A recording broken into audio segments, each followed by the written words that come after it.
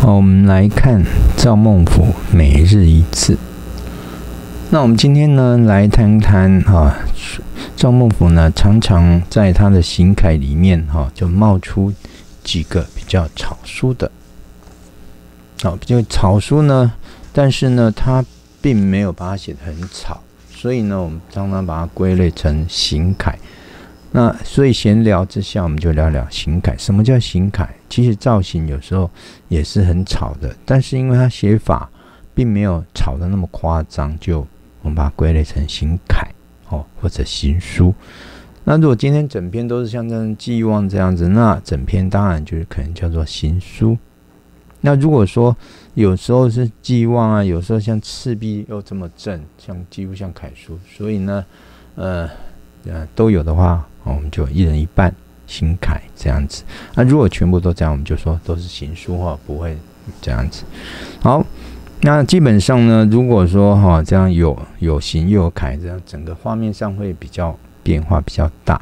有时候呢会稍微潮一点，好像这个书。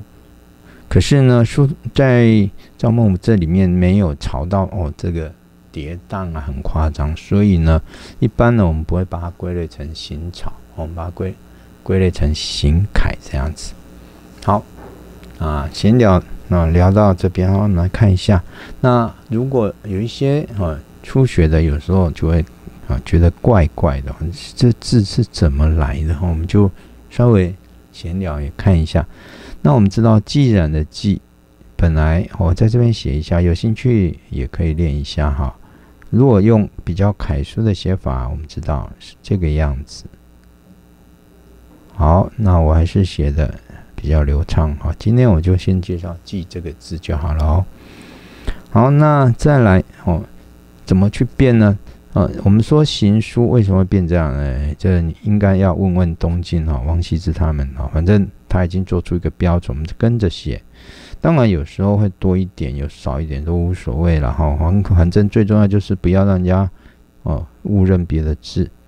好，然后这里面全部省略掉，只剩下勾起来，左边加压，连这个点也不要。当然有时候那个点，有时候我们也会写出来，哦，这就看心情了。哦，如果套语句台语就跨心境了哈。啊，当然学到熟练之后，你自己想要怎么变也可以。哦，比如说我想要多一个点，然后再回来。甚至这里再多一个点，再过来，哦，这然后几乎整个用笔还是张孟福，这样不是又多了一个字？所以呢，这里多一个点，这样就一个字；这里多一点，对，又多一个字。所以很多可以变化，甚至呢改变这里横画，哦，再明显一点就是了。好，这是题外话，哈。所以我们在学习的时候，有时候还是要多动动脑筋啊，就可以让啊。你自己的一些想法哈，自然就会跑出来了。啊，还是要回归我们的毛笔字，好。啊，希望大家哈有兴趣了哈，多多拿毛笔来写，不然书法都快要变成非常极少数人在玩的东西啊，而且很多细节的东西，大家渐渐都。搞不清楚了，所以在这边希望能够哈让大家稍微注意一下哈，留意一下。好，这个注意这个入笔都非常的重要，而且下去马上就要加很重。所以呢，我为什么选这支笔？这支笔是属于尖好，尖好呢比较柔软，但是又有尖的成分啊，这就狼好的成分会比较硬。